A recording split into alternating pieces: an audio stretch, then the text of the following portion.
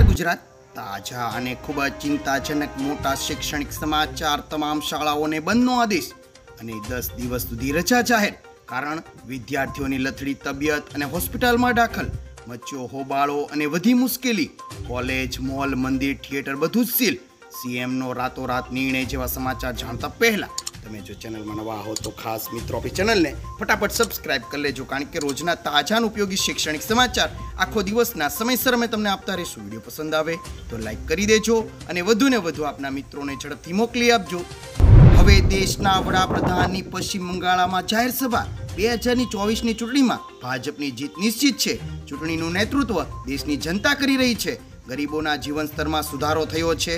જનતાએ દુર્દશા તો જોઈ, પણ વિકાસ પણ જોયો છે. લોકોએ દસ વર્ષમાં વિકાસ જોયો છે. વિશ્વમાં ભારતનો ડંકો વાગી રહ્યો છે. મજબૂત સરકારે વિશ્વમાં ભારતનો ઝંડો ફરકાવ્યો છે. હવે ફરી પલટી મારી કેજરીવાલે. શું છે સંકેત? એક ટીવી ચેનલને આપેલા ઇન્ટરવ્યુમાં કોંગ્રેસ સાથે ગઠબંધનના સવાલ પર કેજરીવાલે કહ્યું, અમે ન તો ઓરેન્જ મેરેજ કર્યા છે, ન તો લવ મેરેજ. અમે દેશને બચાવવા માટે ચાર જૂન સુધી ચૂંટણી લડવા માટે સાથે આવ્યા છીએ. અમારો હેતુ બીજેપીને હરાવવાનો છે.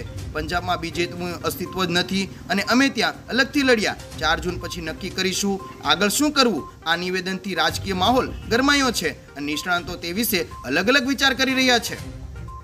હવે ચૂંટણીના પરિણામ પહેલા ગુજરાતમાં કરાઈ મોટી જાહેરાત. લોકસભાની રાજકોટ સીટ રૂપાલાને લઈને ખૂબ જ ચર્ચામાં રહી હતી. હવે ચાર જૂને પરિણામો આવશે. જેને લઈને રાજકોટ ભાજપ પ્રમુખ મુકેશ દોશીએ મહત્વની જાહેરાત કરી છે. અને તેમણે કહ્યું કે ચોથી જૂને લોકસભાના પરિણામો આવશે. પણ રાજકોટમાં કોઈ પણ પ્રકારની ઉજવણી થશે નહીં. ખાસ મિત્રો એ છે કે રાજકોટ ગેમ ઝોન અગ્નિકાંડને લઈને પ્રમુખે મહત્વનો નિર્ણય કર્યો છે. ભાજપના ઉમેદવાર પુરુષોત્તમ રૂપાલાને મૃતકના પરિવારજનોએ અનેક સવાલોથી સિવિલ પહોંચ્યા ત્યારે ઘેરી લીધા હતા. ચિંતાજનક શૈક્ષણિક સમાચાર અને વિદ્યાર્થીઓની લથડી તબિયત હોસ્પિટલમાં કરાઈ દાખલ. બિહારમાં આકરી ગરમી અને ગરમીના કહેર વચ્ચે સરકારી શાળાઓ ખુલી છે. આપને જણાવી દઈએ મિત્રો કે બિહારના ઘણા શહેરોનું તાપમાન પિસ્તાલીસ ડિગ્રીને પાર થઈ ગયું છે, જ્યારે ઔરંગાબાદ જિલ્લાના તાપમાનનો પારો અડતાલીસ ડિગ્રીએ પહોંચી ગયો છે. તે સમયે આ કાળઝાળ ગરમી વચ્ચે પણ બિહારની સરકારી શાળાઓ ખુલી છે.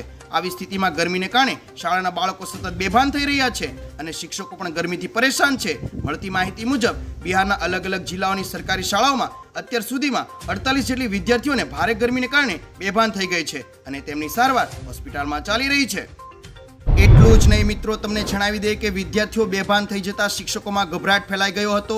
જ્યારે વિદ્યાર્થીના પરિવારજનોને આ અંગેની જાણ થતાં તેઓ શાળાએ પહોંચ્યા હતા. બાદમાં વિદ્યાર્થીઓને હોસ્પિટલમાં દાખલ કરવામાં આવી હતી. આપને જણાવી દે મિત્રો કે ગયા મહિના સહિત સમગ્ર બિહારમાં આ દિવસોમાં ગરમીની લપેટમાં છે. બિહારમાં આકરી ગરમી આ વખતે બાર વર્ષનો રેકોર્ડ તોડી નાખ્યો છે. ગયા ઔરંગાબાદ અને અરવાલ જિલ્લામાં સૌથી વધુ તાપમાનનો રેકોર્ડ નોંધાયો છે. ગુજરાતમાં અગ્નિકાંડ બાદ મોટી કાર્યવાહી. રાજકોટના અગ્નિકાંડની ઘટના બન્યા બાદ સરકારે આદેશ કર્યો છે કે રાજ્યમાં એનઓસી સિવાયના એકમો સામે કાર્યવાહી કરવામાં આવે. જે આદેશોના અનુસંધાને રાજ્યમાં તંત્ર દ્વારા છસોથી વધુ એકમો સીલ કરવામાં આવ્યા છે. રાજ્યની ચાર મહાનગરપાલિકા દ્વારા મંદિર, મસ્જિદ, school, college, mall, theatre, food market અને ગેમ ઝોન સહિતના એકમોની તપાસ કરવામાં આવી છે. એનઓસી ન હોય તેવા છસો કરતાં વધુ એકમો તંત્ર દ્વારા સીલ કરી કડક કાર્યવાહી કરવામાં આવી છે. હવે મુખ્યમંત્રી બાદ પત્ની પણ મુકાયા મુશ્કેલીમાં. સીએમ અરવિંદ કેજરીવાલ બાદ તેમની પત્ની સુનીતા કેજરીવાલ પણ મુશ્કેલીમાં ફસાયેલી જોવા મળી. સુનિતા અને અન્ય વિરુદ્ધ દિલ્હી હાઈકોર્ટમાં અરજી દાખલ કરવામાં આવી છે, જેમાં કોર્ટના વીડિયો કોન્ફરન્સમાં નિયમોના ભંગ બદલ કાર્યવાહીની માંગ કરાઈ છે. વકીલ વૈભવસિંહ દ્વારા દાખલ કરવામાં આવેલી અરજીમાં આરોપ છે કે કેજરીવાલની હાજરી દરમિયાન સુનીતા અને અન્ય લોકોએ ટ્રાયલ કોર્ટની કાર્યવાહી ગેરકાયદેસર રીતે રેકોર્ડ કરી હતી. સૌથી મોટા અને અગત્યના શૈક્ષણિક સમાચાર સીએમનો મહત્વનો નિર્ણય અને તમામ શાળાઓ બંધ. બિહારમાં આજે લગભગ એસી વિદ્યાર્થીની તબિયત લથડતા હોબાળો મચી ગયો હતો. સીએમ નીતિશ કુમારે રાજ્યની તમામ શાળાને બંધ કરવાનો આદેશ આપ્યો છે. જો કે આ ઘટના બાદ આઈએએસ કે કે પાઠકે શાળાના સમયમાં ફેરફાર કર્યો હતો અને શાળાનો સમય સવારે છ થી દસ વાગ્યા સુધી ચલાવવાનો નિર્દેશ આપ્યો હતો. તો બીજી તરફ વિદ્યાર્થીઓ બેહોશ થયા બાદ વિપક્ષ તેમજ ભાજપના નેતાઓએ શાળાઓ ખુલ્લી રાખવાના નિર્ણયની ટીકા કરી હતી.